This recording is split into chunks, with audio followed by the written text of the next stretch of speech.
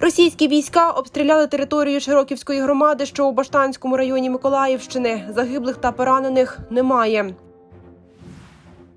Як на південному напрямку працюють пташки аеророзвідки однієї з бригад, розкажемо далі. Первомайську, що на Миколаївщині, волонтери виготовляють спеціальні пристрої та збройове масло для українських військових. У ніч проти 7 листопада Збройні сили Російської Федерації завдали ударів по території Широківської громади, що у Баштанському районі Миколаївщини.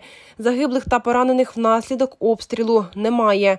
Про це повідомили в Миколаївській обласній військовій адміністрації. Під вогнем російських військ опинились території поза межами населених пунктів Широківської громади.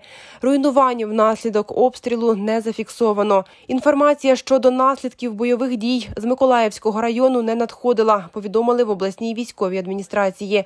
У Первомайському та Вознесенському районах день та ніч минули спокійно.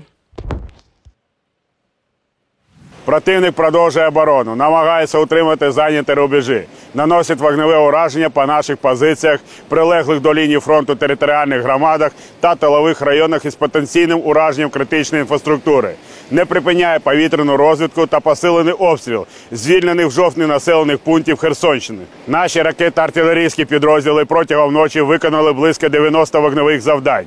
А зенітним ракетним підрозділом в Береславському районі Херсонщини зранку збитий ворожий штурмовик Су-25. Решта результатів дорозвідується. Втрати російських військ станом на 7 листопада. Особовий склад близько 76 тисяч 460 осіб. Танки 2771 одиниця. Бойові броньовані машини 5630 одиниць. 1782 артилерійські системи, 391 реактивна система залпового вогню, 202 засоби протиповітряної оборони, 277 літаків, 1472 безпілотних літальних апарати, 260 гелікоптерів, автомобільна техніка та автоцистерни 4199 одиниць, спеціальна техніка 157 одиниць, 16 кораблів та катерів. Збито 399 крилатих ракет. Слава ЗСУ.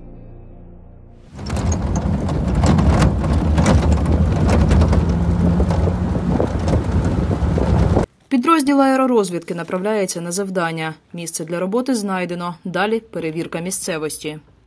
Мы выходим э, сначала пешком. Мы проверяем полностью, куда можно подъехать, куда нет. Это те же противотанковые мины, это э, противопехотные мины, растяжки какие-то.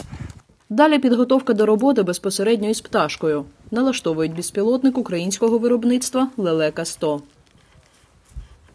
Зараз е, налаштовуємо GPS, відеозв'язок.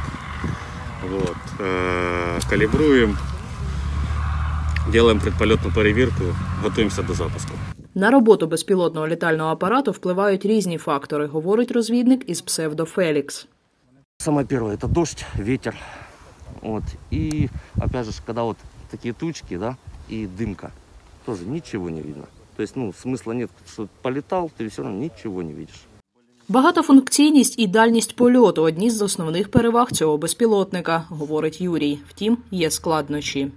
Ми працюємо в умовах е, періодичного подавлення засобами РЕП. Тому є, е, є е, определені якісь труднощі. Через роботу радіоелектронних засобів підняти у повітря лелеку не виходить, тож аеророзвідники приймають рішення застосувати інший безпілотний літальний апарат Матрікс 300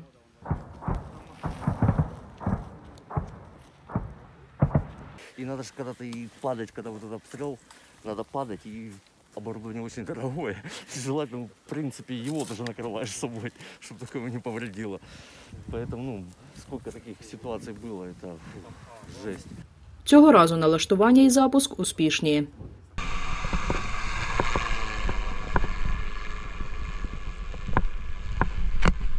А вже на цих кадрах результат успішного коригування роботи аеророзвідки, знищення ворожої артилерії на тимчасово окупованій території Херсонщини. Валентина Гурова, Суспільне новини, Миколаївщина.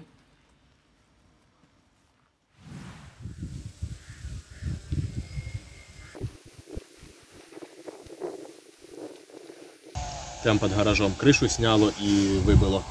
Этот. І оце, виходить, прилетіло в фронтон. Кришу зняло, так само там потолки попадали, стіни підходили. Коротше, дом повністю під снос іде. З нуля треба. Мабуть, міна. Вона без детонатора. Це в гараж у нас потрапив, потрапила міна 120-та вроді. Е, Це літ, влітку. А зараз в вересні десь отак от е, прилетіло безпосередньо в будинок е, танковий снаряд. Ну, ось, наприклад, е, у нас колодязь, так? Люди сюди ходять набирати воду, так як централізованого водопостачання зараз не працює воно, бо немає світла з 14 чи 15 березня десь отак от.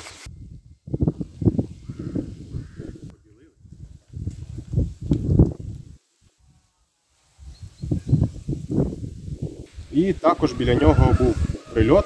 Він був досить гарно е, з аркою, там танка була а, зроблений.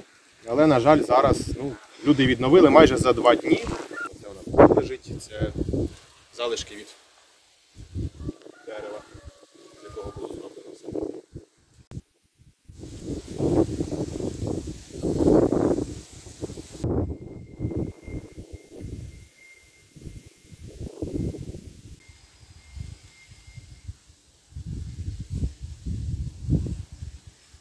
Зв'язку тут немає.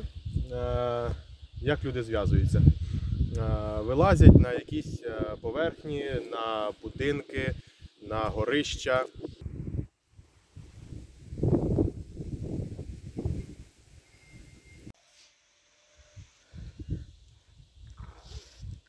На даний період в Новомиколаївці проживає 195 жителів. Зруйновано у нас повністю 5 будинків.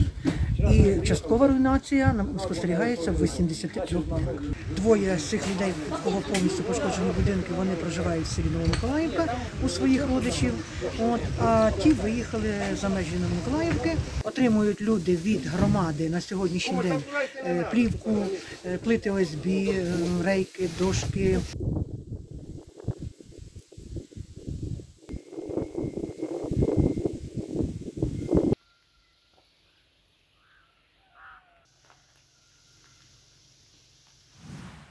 Ну, ми виконували бойове завдання в селі Водяне. У нас було своє завдання. В 36-й бригаді морської піхоти. І е, все як завжди було, окопна війна, ніхто нічого, але після 24 лютого вони поперли, поперли танки, піхота пішла авіація. Нас взяли вже повне кільце на Азовсталі. І була домовленість, щоб хоча б е, гражданських щоб випустили. Тому що, наскільки ми пам'ятаємо, скільки гражданські не збирали колони, е, їх всіх е, розстрілювали артилерією або зустрічали. Е, Ми старалися гражданських від себе подальше держати. По бункерах у них свої бункери були, у нас свої, щоб їх не наражати на небезпеку. Бо де військові, там, як завжди, все прилітає. Термінові роботи були викликані станом однієї з опорних конструкцій фасаду, на якій тримається частина даху будівлі. Ця конструкція нахилилася на кілька градусів, втратила міцність та могла сама завалитися будь-якої миті. Пошкодила будівлю першої української гімназії імені Миколи Ракаса у ніч проти 1 листопада російська ракета. 4 листопада будівельники монтували і встановлювали металеві конструкції для зміцнення будинку. Зруйнована фасадну частину будинку та є загроза руйнування ще одної частини, тому е, зараз тривають роботи підприємством Житлопромбуд номер 8 щодо виконання першочергових протиаварійних робот з метою збереження даху цієї гімназії внаслідок того, що ми винуждені руйнувати одну із опорних несучих конструкцій. 4 листопада, за словами майстра дільниці будівельної компанії, у роботах з виготовлення та встановлення металевих рам були задіяні п'ятеро фахівців. Робимо укр- укріплення, щоб е, далі не обрушилось е, дах будівлі.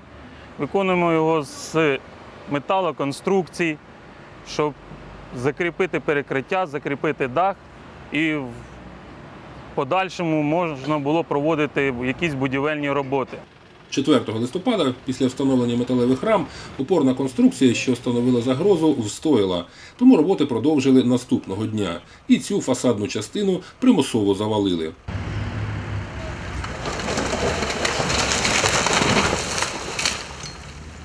Федір Бондар, Євген Мінаков, Суспільне новини, Миколаїв.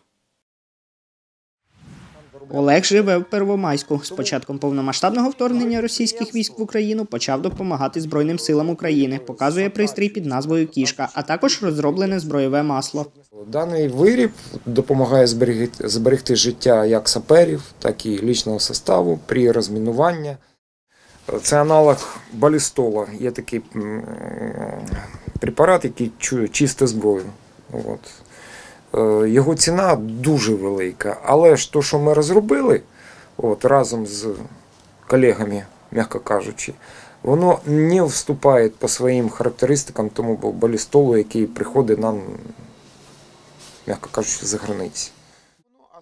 Такого аналогу виготовили близько 100 літрів, каже волонтер. В арсеналі конструкторів також глушники і полум'ягасники для автоматів Калашникова 5.45, які військові використовують під час зачистки деокупованих територій. Антапки, що в дуеті з тактичним ременем роблять комфортнішим тримання зброї. Общалися з одним із е, бойових підрозділів, які думають наперед і думають, як покрасити тимчасово військову техніку в білий колір. От зараз у нас є така проблема, от, ну, яка теж частично з е, нашими хіміками міста Первомайська, можна сказати, вже вирішена.